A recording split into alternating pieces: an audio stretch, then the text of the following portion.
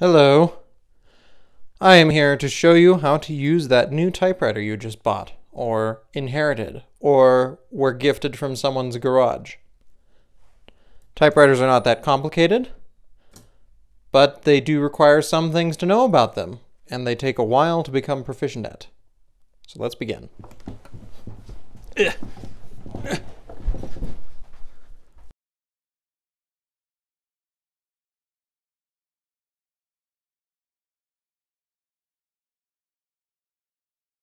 All right, to show you the parts of the typewriter, I will be working off of this list personally. Uh, I just typed it up. It's all of the all of the different controls and the major parts you need to know for operation. It looks intimidating, but it's not really once you get to using it. It's pretty intuitive. There's just a lot of different parts. To begin showing you how to use a typewriter, I'm going to start with this 1950 Remington.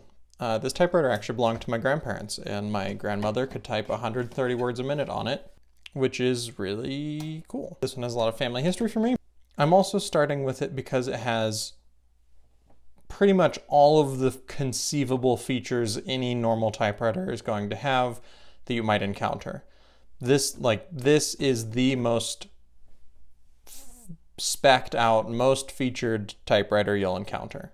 So it's a good place to start because you probably won't encounter anything that isn't on this typewriter.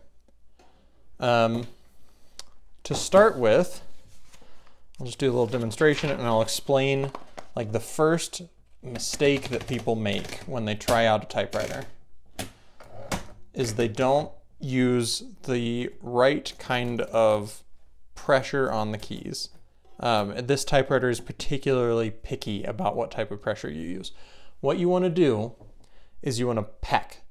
Peck the keys firmly, but it has to be a peck. You don't press. You don't press the key hard because what I'll see people do is try to do that. Press. You end up with this really faint type and it skips spaces and it doesn't work. Conceivably, you could damage it if you were just trying to press really hard to get the letters to show up. You want to peck, peck. Uh, and then once you do that, you get nice dark type. Most of these keys are pretty explanatory from, you know, if you're used to typing on computers. One thing that is going to be different is how the shift works. Shift works the same as a computer, but the cat the shift lock is a you know is a separate button. But on every typewriter I have ever used, at least, you release the shift lock by pressing shift again. Um, this typewriter is kind of cool because it has a shift, loft, shift lock on both sides, which like honestly I wish computers had. So that's the first difference. The next one is backspace, is literally just back a space. Uh, you type something out, type, backspace, it literally just moves back a space, and if you want, you can type something different over that. And then you just end up with letters stacked, like a double exposure on film. This typewriter has a feature that I haven't seen on any others, but I'm sure exists elsewhere. You want to make sure you're only hitting one key at a time. If you overlap keys, at some point you'll end up with two of them stuck, like this. This typewriter has a cool feature where it has this key marked KR, which is key release. Push that, it'll unjam them. On every other typewriter I have, you just have to do it with your fingers like that. Margin release key. Okay, so on a typewriter, you're at the left margin, and then as you make your way across, it will ding about five or so, six spaces out from the very end. And if you're typing, you'll hit the end and won't let you type anymore. Now, when you hear the ding, you need to either end the word or hyphenate it. Um, but if you just can't get the space to, you hit the end, you hit this key MR, margin release, it'll be, it'll be marked somehow like that. When you press margin release, it lets you keep typing. It actually works on the other side too. If you wanted to type early, you know, it that's can be handy if you're doing something other than just a straightforward page of text. Many desktop typewriters like this will have a margin set button, lever somewhere. This one has it on the keyboard. Some will have it up here. It'll be marked like magic margin, that's on Royals, or margin set, something like that. Some of them are spring loaded, so if you press the, if you put it into the left position, the left margin will just snap to wherever you have this set. So right now, left margin is right there. On this typewriter, you have to go to the margin, press uh, KMC. I don't know what that stands for on this typewriter, but that's the margin set key on this one. And then you move it to where you want the margin to be, release that, and then that's where the margin goes to. And then if you want to set it back, you just press down the key, move the margin back to where you want it to be, and then it'll be set there. Okay, another thing to know is uh, that tab works differently on a typewriter. It's called the tabulator bar. Most of them, a lot of desktop ones have a bar. Some portables have a button on some side for the tab. Um, on a typewriter, it moves however many spaces you set it to.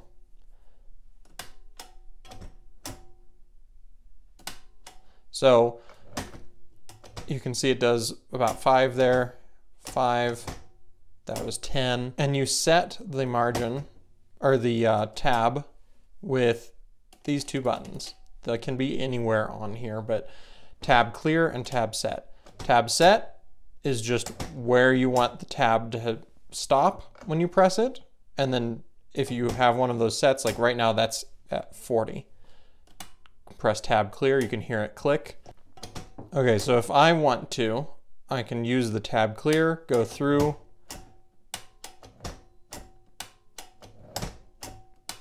and clear all those tabs. Now, if I press the tabulator bar, it'll go all the way to the... Next up is the touch regulator. Um, this is a really cool feature that exists on typewriters that doesn't exist at all on computers and is kind of an example of use-specific design that's been lost on computers because of just the different way they work and then people just kind of forgot about it. The touch uh, regulator controls how hard you have to press the keys to type. Um, on this typewriter, it's right here on the front, so that's easiest and that makes the keys heavier. Just depending on what your preferred feel is. Um, it's not usually right on the front on a typewriter. Uh, often to see it on a typewriter, you'll have to pull this off and you'll see a slider or something with like one through 10. Um, sometimes it's like a wheel on the side right here. Um, but if you see anything that's like numbered one through 10, that's probably a touch regulator. Not all have it, but a lot do. And it's just kind of a cool feature. So on, if you have a desktop typewriter like this and then a portable. Desktops are usually feel a little bit heavier to type on. So you can have the desktop set to the lightest and then you can adjust your portable to a heavier setting so that they both feel the same to type on. So then you're not like readjusting your feel.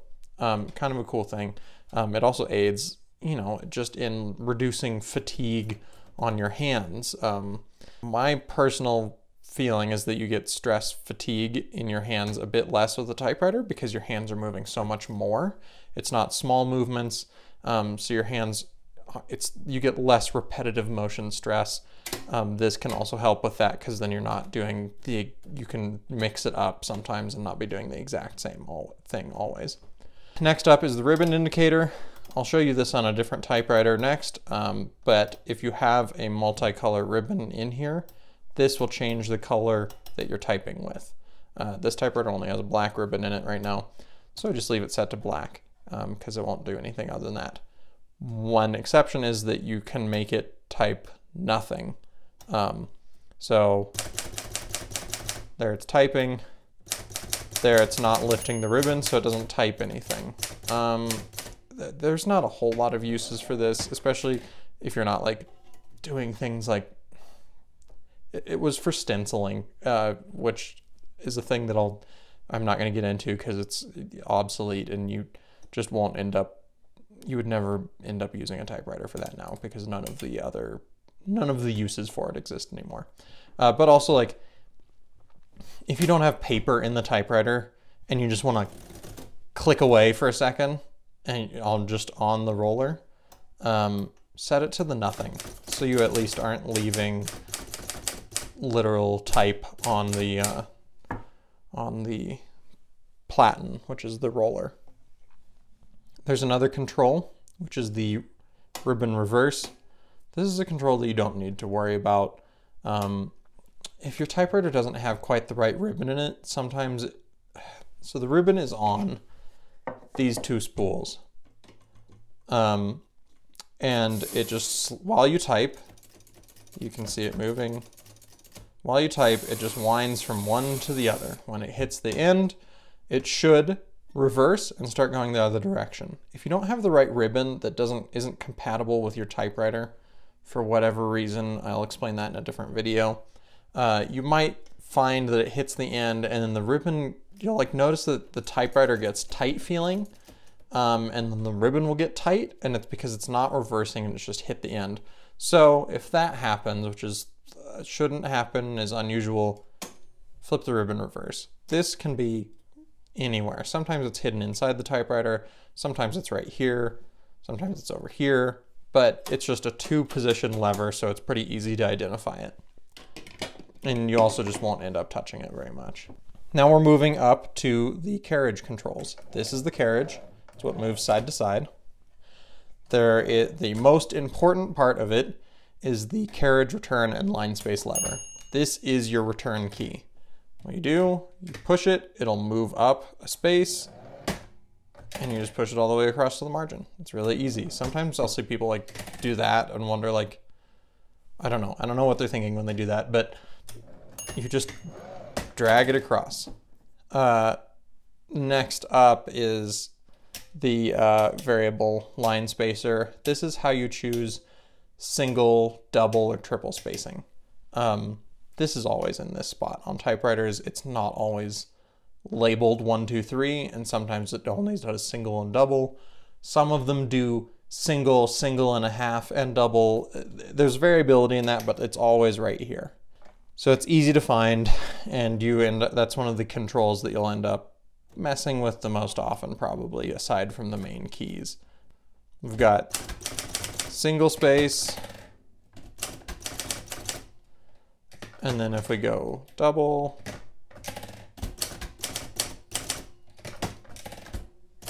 oops, I don't know what I'm doing, double, so there we go, that's what that looks like. Like I said, this is called the platen. This is the roller, the rubber roller. Um, most of them are hard at this point. They're, they're not supposed to be squishy, but they should have like some grip so the paper doesn't slide. Most typewriters, the rubber has just kind of hardened and isn't as grippy as it should be. You can get these redone I'll talk about that in another video too, although I've never had it done to one of my typewriters because it just it hasn't been that big of an issue for me. There, okay, so the next up in terms of levers you'll use a lot are the left and right carriage release levers. The carriage can always move to the right freely. Move it to the left, or if you just want to move it to any around, there are these two levers. They release the indexing mechanism that spaces like that, which makes it so you can move this wherever you want. So if you're trying to line up with something on a page, if you're doing a form, something like that, you can just line this up wherever you want it to be.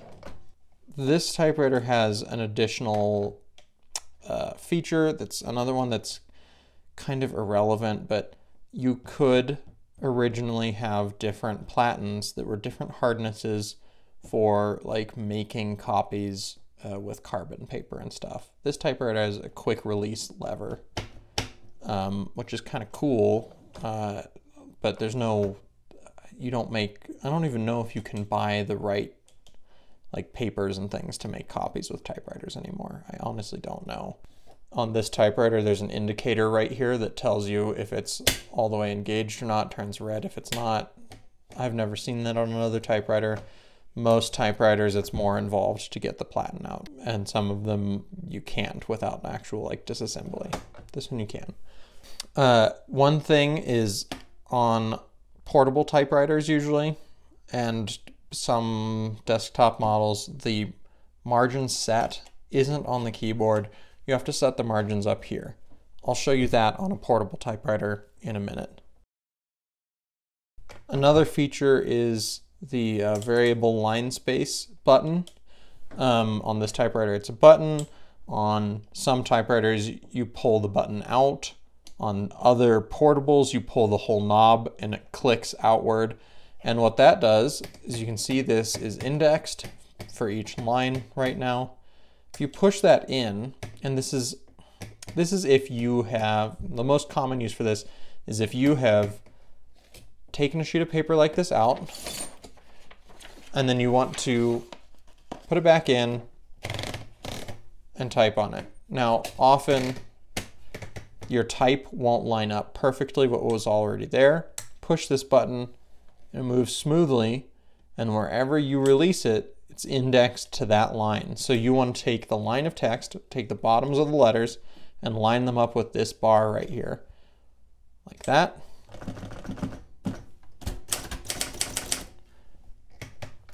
and now the type is lined up. So that's what you use this for. There's a similar lever that is the line release lever. It's this one. If you flip it forward, it seems like it does the same thing, but the difference is, is that when you release it, it'll re-index to the way it was before you pulled the lever. So you can see if I put this between lines, it'll index back. This one you, I, you don't use very often unless you like literally just have one word that you want to free form put in a spot. I, I don't really know exactly why you would use it over just adjusting the overall indexing. Uh, one thing is, is that if you do this, the space lever doesn't do anything.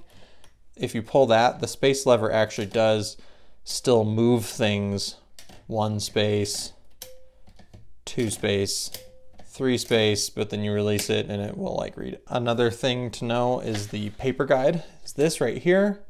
Some typewriters will have a line that you're supposed to align it with for a regular 8.5 by 11 sheet. Um, this typewriter is numbered in such a way that the center of an 8.5 by 11 sheet is marked right there. If you line this up, on most typewriters, you set this to zero, which will be somewhere right here. And then when you do that, that's just, you, you line the paper up with it when you put it in. So you can see what I've, you've noticed me doing this is you line it up with that and then you roll it in. That just makes sure that all your pages are consistent and that your margins are in the right spots. Because if you put the paper in crooked, the margins are gonna be in the wrong spot on the paper. This piece is called the paper bail. Uh, usually it can pull forward like that and also flip up. Um, on portables, it often can only flip up, but it just keeps the, the paper pressed down so that it types cleanly. And also like you'll notice if I type on it like this, it's really loud.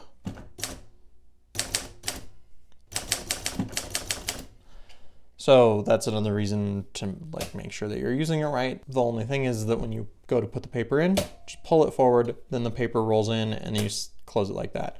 Or, you know, put it up and then close it. Um, these rollers can be moved around. I keep them towards the edges, but you can put them wherever you want. Um, just as long as they're holding the paper down. There's also various scales. So this typewriter has a scale marked right here for when you're putting the paper in. It also has a scale handily on the paper bail. And then it has, all typewriters have a scale down here, which looks like you wouldn't be able to see it, but there's actually in right in here, there is a pointer and it tells you exactly at what point um, across the carriage you are at. Um, these scales all line up. So when you are setting the margins and whatnot, or setting tab stops. That's how you can count out exactly five spaces, 10 spaces, whatever you want to do is by using that. Or if you're centering things uh, on this typewriter, you center to that. Those scales come in a lot of handy too. One of the last pieces to know, at least on a desktop typewriter that will be up on the carriage, is the uh, feed roller release, which is this lever. It's, on every typewriter I've used, it's on this side. It has a lot of travel, so it's pretty distinctly different from the carriage release. Also, everything won't start sliding. When you want to just pull a sheet of paper out, you don't don't do that. What you do, pull that, it loosens the feed rollers on the bottom, and then the paper slides out freely. For this next part, my uh, microphone was flaking out while I recorded the original audio. So now it's a few months later, and I will be trying to figure out what on earth I was talking about based on the weird hand gestures I make. So this section I'll be talking about um, other parts and mechanisms and things uh, related to typewriters, mostly related to portables, but I'll also cover things like corrections and whatnot. The typewriter I'll be using is a 1934 Smith Corona flat top portable. Um, I really love this typewriter. It's a really pretty color. Um, anyway, so here we go. So you stick the uh, case on the desk, and then to get the typewriter out, you have to push down a release lever. Um, some portables have two release levers, sometimes it's on the front of the case, whatever. So you lift the typewriter up, pull it forward to get it off of the hook that holds the back down, and then you can set it on the table. Um, not all portables come out of the case. Some from the 20s are permanently attached to the bottom. Um, so what you want to do if you want to type on your lap is you can slide the top of the case off or release it. They always release somehow. Um, so you can release the top of the case and then you have the you leave the typewriter in the bottom and you can have that on your lap so you don't get your pants in the typewriter mechanism. But we want this on the desk, so I'll leave it there. This typewriter also, the uh, carriage return lever um, is folded down, so you have to fold it up, and then the carriage itself on a portable will always be locked when it's in the case to keep it from sliding around and getting damaged. You can see that the spacebar and the keys don't do anything right now. On this typewriter, you just push it to the right to release the carriage lock, and then you can see that's that little lever I'm pushing on the bottom of the carriage you hold that down and then slide it over and it locks in the center position. That lever is in a different spot on typewriters all the time and it's annoying but to find it, but it, it is there. Um, here you can see the margin sets. There is no margin set key on this typewriter, so those you just push the button down and slide the margin to where you want it to be. And there's little indications on that bar that tell you where it is. Um, here is the tab key. Not all portables have a tab key, but this one does. Um, and then you have to set the tab manually by literally moving those tabs to where you want the tab stops to be. So it isn't a, you don't push a button to set where the tab is, you have to just move those little tabs around.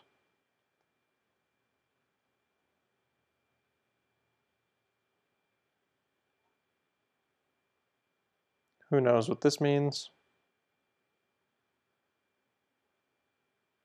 Um, now we'll be putting paper in. Um, portable typewriters have these uh, paper holders that flip up. I don't know why full-size desktop typewriters don't have those, but it just helps to keep the uh, paper from folding over the back of the typewriter while you're typing, and it helps you see what you're writing better because you can see the whole page at once.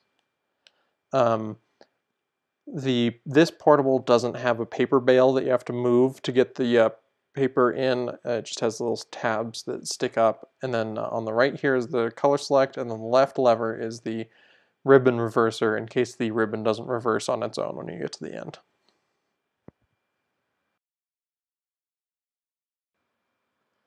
Here I am just demonstrating switching the ribbon colors. It's a little hard to see on the video, but that's how you do it. Um, Something else to be aware of is you can see that some of the letters on this look a little fatter than others. what that is is just gunk from the ribbon building up on the type slugs, which is what the part that actually hits the ribbon and the paper.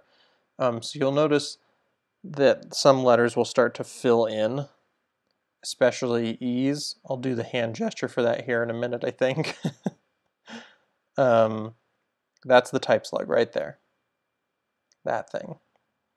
And so when it starts to get gummed up with just crud from striking the ribbon a million times, um, hollow spaces on the letters start to fill in and the letters start to get fatter and then the type just kind of looks messier. There we go. There's me gesturing about an E filling in. Um, so you can clean those out by just taking like an old toothbrush, dipping it in some rubbing alcohol, and then just toothbrushing the type slugs. Just be careful to not have that alcohol spray onto the paint of the typewriter because it can damage it. Um, but yeah, you just toothbrush those and, you know, dip the toothbrush in the, you know, rinse it out a few times and just toothbrush it off and then just dab them off with a paper towel. And that will take all the crud out and then the type will be really clean and look almost printed after that. Um, it's just kind of a regular thing that you have to do. I believe I'm talking about how the backspace and tab keys are often reversed on typewriters. They're kind of never in the same spot. Same with margin release. Um, caps lock on this typewriter requires that you push down the same shift key that the caps lock is on, basically. Um, it's not like the bigger Remington where you can release it from either side. Here's just the inside of the typewriter. Um, I have original spools in here that I rewrapped a new ribbon onto. Um, this, this type of ribbon has eyelets in the ends that pull a lever when the ribbon gets to an end and that's what makes it reverse. It's not the same mechanism on all typewriters, but the one with eyelets is the most common and that's what this typewriter uses. So there's like these loops that are just past the spools that you want to make sure that the ribbon goes through when you put it in so that they can be pulled by the eyelet at the end.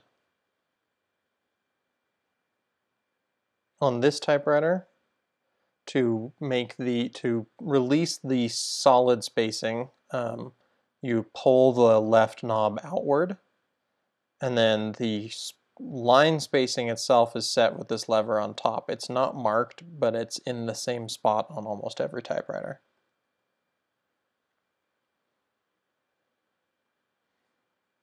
There you can see the, the kind of prongs that hold the paper down on this typewriter instead of having a, a paper bail that moves. Here I'm talking about how uh, there is no one key on most typewriters. You press an, a lowercase l to act as the one. Um, the typeface is designed so that 1 and L look the same. Um, so to type 100 you do L00, just kind of an odd typewriter goofiness. Um, and then also to do an exclamation you do apostrophe, and then you backspace, and then put a period under it. Um, there's no exclamation point. That would be on the one key if there was one, but there isn't. It does take a bit of muscle memory to remember that the apostrophe is over the 8. Um, and then to make it even more confusing, some newer typewriters from like the 70s have an apostrophe where it would be on a new computer keyboard, um, so kind of all of the basic QWERTY UIOP is always the same, but where all of the ancillary uh, characters are is kind of different on almost every typewriter. So if you're working on a few different typewriters, you end up just developing muscle memory for each individual one, and I often don't even realize that I've automatically switched to where a apostrophe is on a different keyboard but it does take a second if you've spent your whole life only typing on one keyboard layout. There's also, for some reason, one quarter, one half, and three quarters keys. Uh, I don't know why those were more important than having something like cents, but actually this one does have cents, I think. But it, uh, they, I don't know why those were more necessary than just having a one key.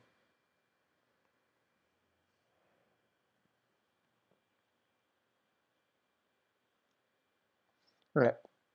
Here we're switching over to a 1910s Underwood number 5. Um, this is a really, really satisfying typewriter to type on.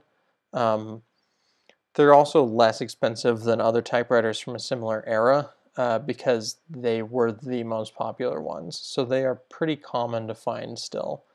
Uh, you would pay probably 75 to 100 for one that hasn't been cleaned or restored.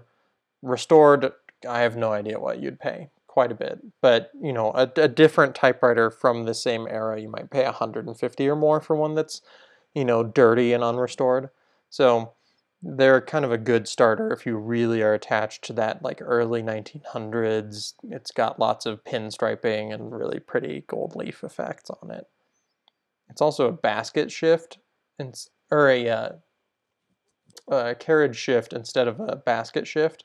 Basket shift is when the keys move up, or the uh, strikers move up and down to shift, and then uh, Carriage shift is when the carriage moves up and down instead. Basket shift is better. That's probably the only thing I don't like about this typewriter is that it is carriage shift. It makes the shift keys just really heavy.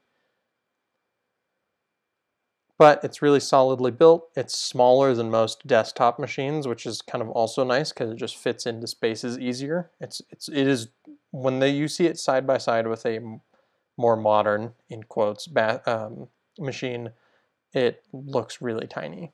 It's also got really good ergonomic design, even though it kind of looks like a sharp cube. Um, your fingers just fall really naturally on certain controls. Like that, the carriage control you can see me demonstrating. You just, yeah, your fingers automatically go to the right places. That's the same control for releasing line spacing.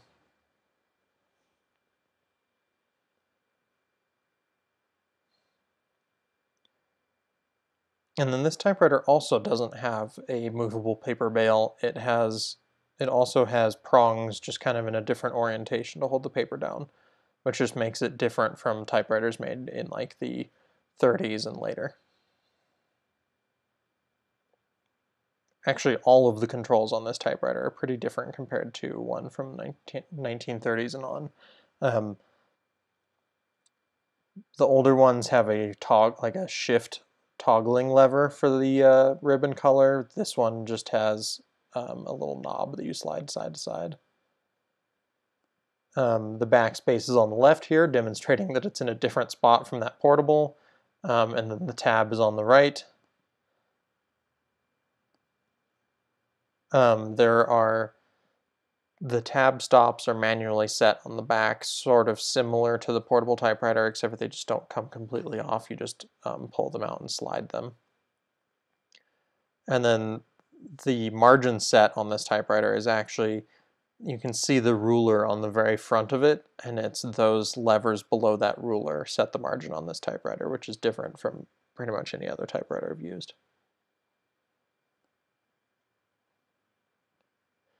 This typewriter has an interesting thing where it's a really good demonstration of kind of some of the ergonomics of typewriters. It puts more force into your fingers when you type than you put into the key in the first place. It does that using the force of the mainspring that you wind with each return, but right here it's spacing on its own with me just putting the weight of my finger on it because my finger pushes the spacebar down, but then it pushes the spacebar back up harder than I pushed it down in the first place. So it can just kind of loop on its own and it kind of helps bounce your fingers back up to their starting position with each each key. I think that would be a really amazing thing if key, computer keyboards had that, if they kind of bounced your fingers back up to the starting position.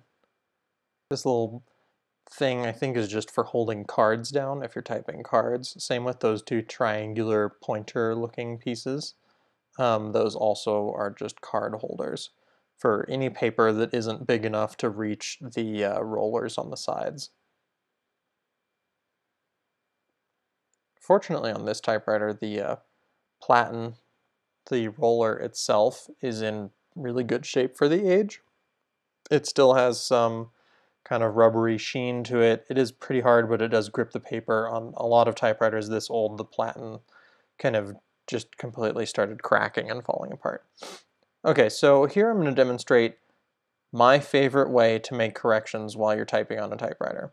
There are other ways to do it, um, but I like these um, type correction tabs is usually the, that's the term. You can find them with the easiest usually.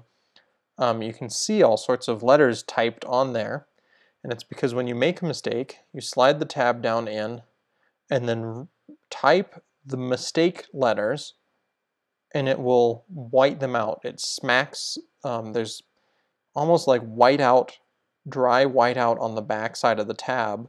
And so when you type the mistake letters, it just retypes them in white on top of the black, which makes them go away, and then you can type the correct thing over the top of that white uh, pigment.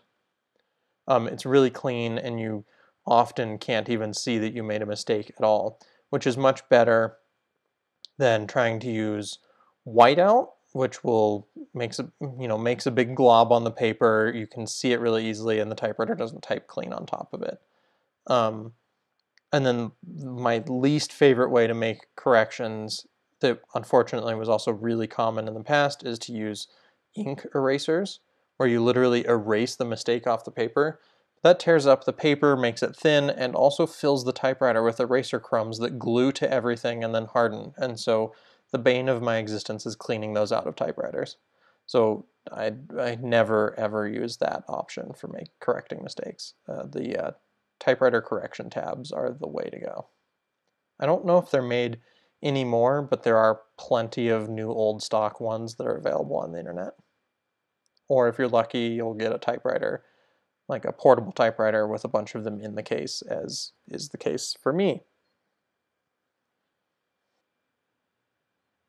I think I'm type talking about typing position here, um, having your hands down versus up and posture and whatever typewriters do kind of lend themselves automatically to having, you know, the uh, the correct taut typing posture, just because you can't have your hands be super lazy while you're using them. Here I'm just kind of showing the ergonomics of it. It just it comes really naturally to grab the carriage in the right position when you're trying to move it. Same with the paper release. It's like curved in a way that is just really comfortable on your fingers even though it doesn't really look like it. So it just kind of goes to show that good ergonomic design isn't a new discovery. It's always existed, it just doesn't, you know, necessarily look like an organic shape in the past. Here you can see the basket shift, or the, um, carriage shift mechanism versus a basket shift. Uh, on a basket shift, the that you can see the basket of keys there would be going up and down when I pressed shift. But on a carriage shift, the carriage has to get lifted by the shift key, which makes it heavier.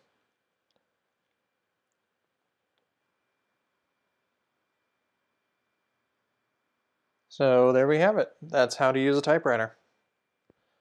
Sorry about the end of this with some technical difficulties, but uh, hopefully this video was informative for you. I kind of tried to put everything I could think of into it. I'm sure there will be something I've forgotten though. Anyway, good luck using your new typewriter.